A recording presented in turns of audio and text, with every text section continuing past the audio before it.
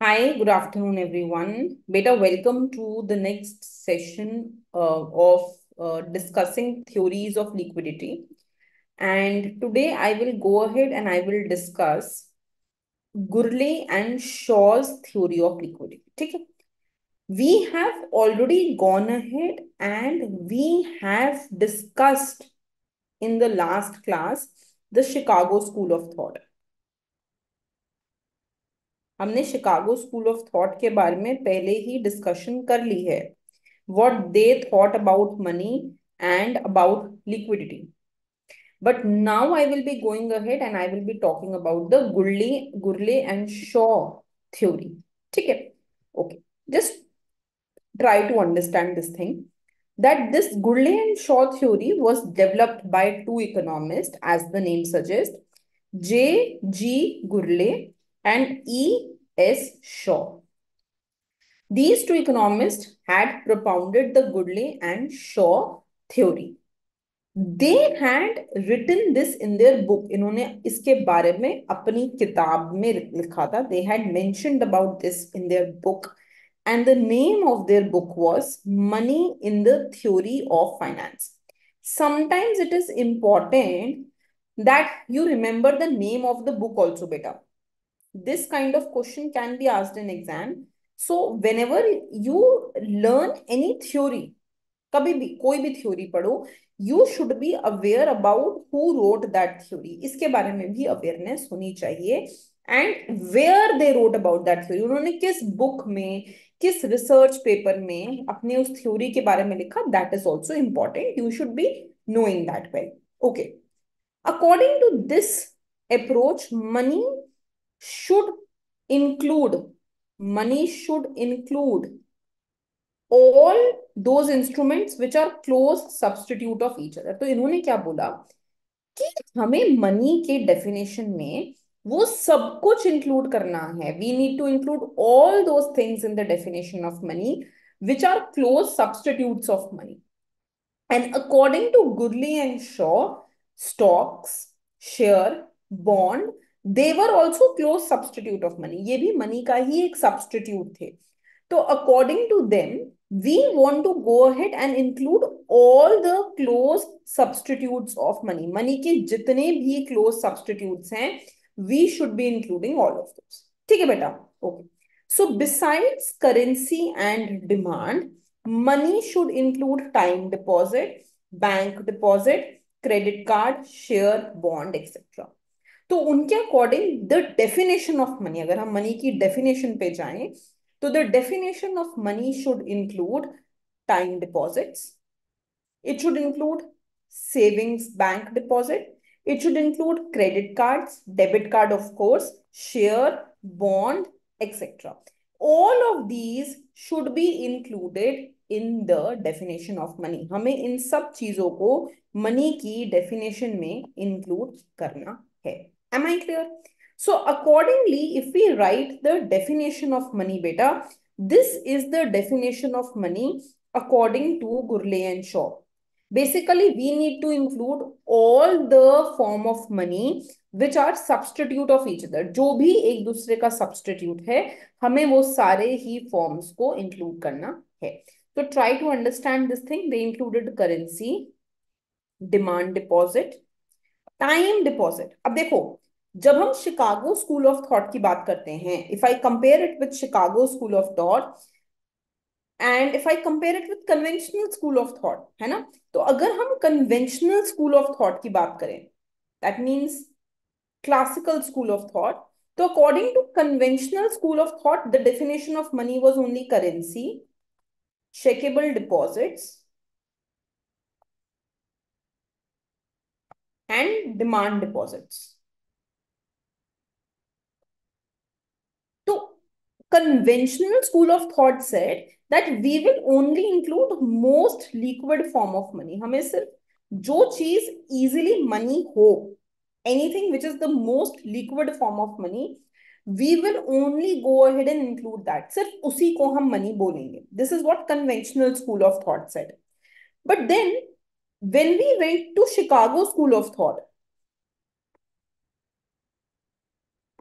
Chicago school of thought said yes जो भी ये बोल रहे हैं, वो तो इंक्लूड होगा ही। We will include currency chequeable deposit demand deposit but we will also include time deposit and fix deposit we will also include time deposit and fix deposit and इसको उन्होंने क्या बोल दिया बेटा? They called this as M three है ना? और इसका उन्होंने रीजन भी दे दिया that look number one time deposit can be easily converted to cash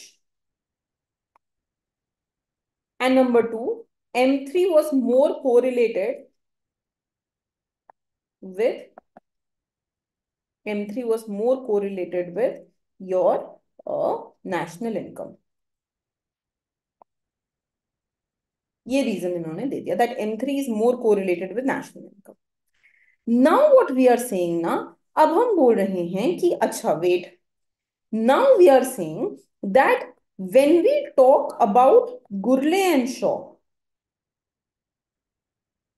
तो they went one step after Chicago school of thought वो शिकागो स्कूल ऑफ़ थॉट के भी एक स्टेप ऊपर रहे तो they said yes currency demand deposit time deposit भी include कर लो.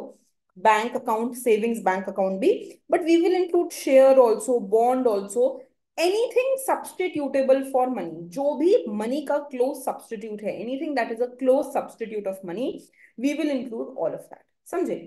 This approach concludes that there is a different degree of liquidity among different type of asset included in money. ठीक है मैं बता देती हूँ तो क्या कह रहे हैं? So, वो ये बोल रहे हैं देखो okay okay, in our definition of money we have included different things हमने अलग अलग चीज़ों को अपनी मनी की डेफिनेशन में इंक्लूड कर लिया है। But each of these different things they will have different amount of liquidity जो भी हमने ये डिफरेंट चीज़ों को इंक्लूड किया whatever we have included in the definition of money these different things will have different amount of liquidity. इनकी amount of liquidity different होगी. So they said that basically, basically, currency will have different liquidity, demand deposit different liquidity, time deposit different liquidity, saving account different liquidity, share and bond different liquidity. So each of them, जो भी हमने factors include किए हैं, each of them will have different amount of liquidity. Clear? ठीक है. Now बेटा Gurley and Shaw divided total quantity of money in two parts. Let me explain this to you. One, they called as inside money. And two, they called as outside money. Right? What is inside money? Inside money is based on debt of endogenous economic unit. It is the money created within the private sector against some private sector debt. It consists of financial claim by one class of individual and firms on the other within the economy. ठीक है समझो try to understand this thing. तो when we talk of inside money, इसका क्या मतलब है that whatever money is moved within the economy. So for example, we have households beta. Households ने bank में जाकर मनी सेव किया।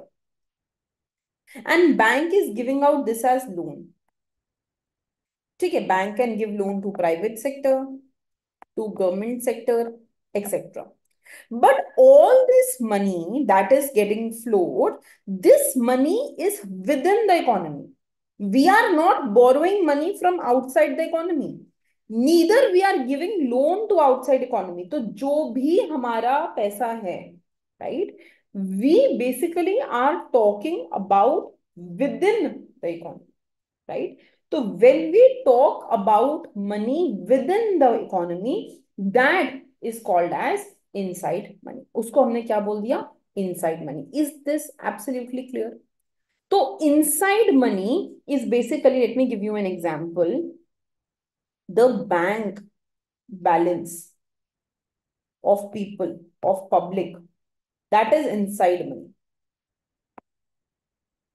Right?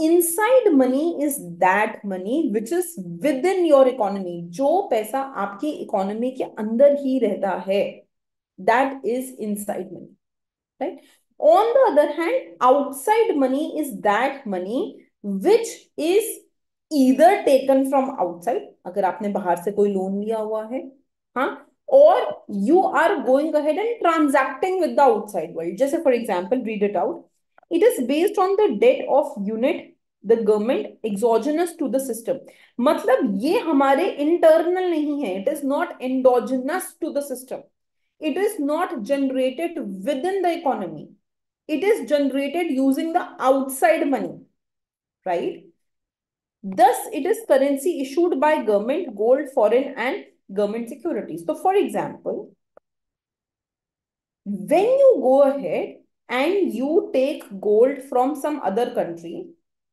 and you fly that gold within India जब आप बाहर का gold इंडिया में फ्लाई करते हो right that is outside money or when your government takes loan from IMF from say World Bank